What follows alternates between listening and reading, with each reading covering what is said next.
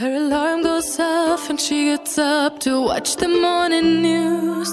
Doesn't work no more, but tells a lot of stories. But good morning friends আমার foodies and style আনলিমিটেডে তোমাদের সবাইকে স্বাগত জানাই আজকে একটা সিম্পল রেসিপি নিয়ে আমি হাজির হয়ে গেছি রেসিপিটার নাম হলো মুগ ডাল দিয়ে ডাটা চচ্চড়ি তো উপকরণে কি কি আছে দেখা যাক একশো গ্রাম মুগ ডাল আছে তার সঙ্গে চার থেকে পাঁচটা বড় সাইজের সজনে ডাটা। তার সঙ্গে আছে আদা, এটাকে বেটে দিতে হবে। ফোড়নে দেওয়ার জন্য শুকনো লঙ্কা। আর আছে নুন, জিরের গুঁড়ো, স্বাদ মতো মিষ্টি আর হলুদ। তো চলো রেসিপিটা স্টার্ট করা যাক। কড়াইটাকে ফার্স্টে ধরিয়ে নেব। কড়াইটাকে ধরিয়ে নিলাম। এবার কড়াইটা গরমই ছিল প্রিহিট করা ছিল। তো মুগ ডালটাকে ফার্স্টে আমি ধোয়ার আগে ভেজে নেব।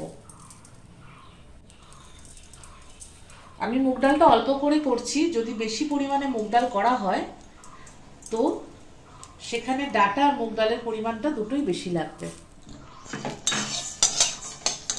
তো মুগ ডালটা ফার্স্টে আমি ভেজে নেব। ভেজে নিয়ে তারপর মুগ ডালটা ধুয়ে রেসিপিটা স্টার্ট করব।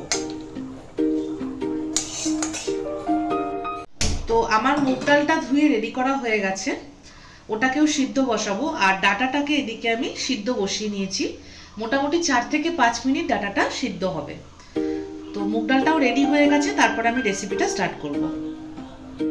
কড়াইটা গরম করে নিয়েছি, আর ওদিকে আমার ডাটাটাও সিদ্ধ করা হয়ে গেছে। তো এবার গরম কড়াইয়ের মধ্যে আমি ফার্স্টে তেলটা দিয়ে দেবো। কড়াই তেলটা দিয়ে দিয়েছি এখানে টু টেবিল স্পুন মতো তেল দেওয়া হয়েছে। বড় চায়ের চায়ের চামচের দুই চা চামচ। এবারে আমি এর মধ্যে একে একে দিয়ে দেবো। শুকনো লঙ্কাগুলোকে ফার্স্ট আমি দিয়ে দেবো। আর তার আগে একটু আমি নুন দিয়ে দেব, যাতে গায়ে না থাকে শুকনো লঙ্কাটা ফোড়ন দিলাম।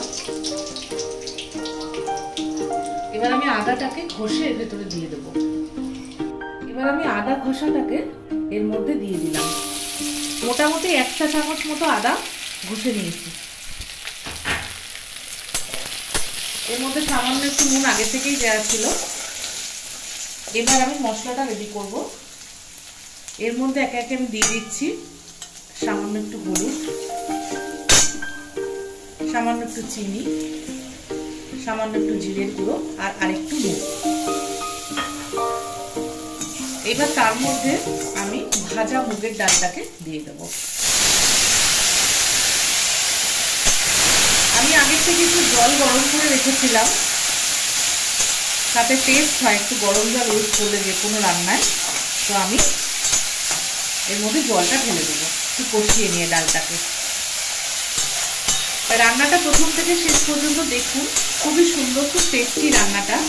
আপনারাও করে বাড়িতে খাওয়ান এই রেসিপিটা তো আমার রান্নাটা ভালো লাগলে অবশ্যই চ্যানেলটা লাইক করবেন সাবস্ক্রাইব করবেন আর প্রচুর প্রচুর শেয়ার করবেন আর আপনাদের এরকম ডালে নানান রকম রেসিপি থাকলে সেগুলো আমার সাথে শেয়ার করবেন।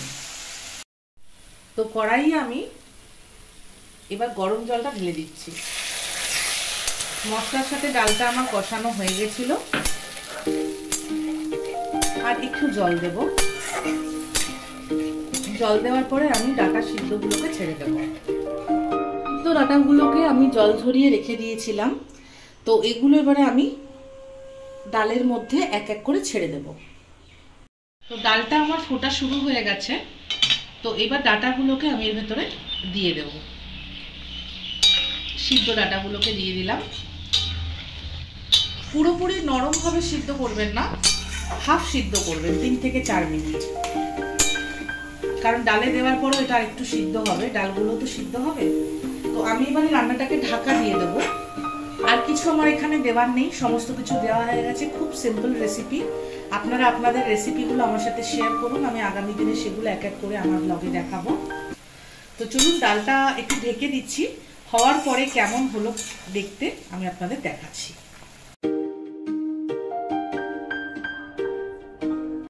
তো রেডি হয়ে গেছে আমার সজনে ডাটা দিয়ে মুগ ডালের চচ্চড়ি। চচ্চড়িটা একদম শুকনো শুকনো হবে, বাড়িতে কোনো গেস্ট এলেও খুব খুব ভালো লাগে। এটা তোমরা যদি তেল দিয়ে না রান্না করতে চাও, সম্পূর্ণ বাটার কিংবা ঘিতেও রান্নাটা করতে পারো।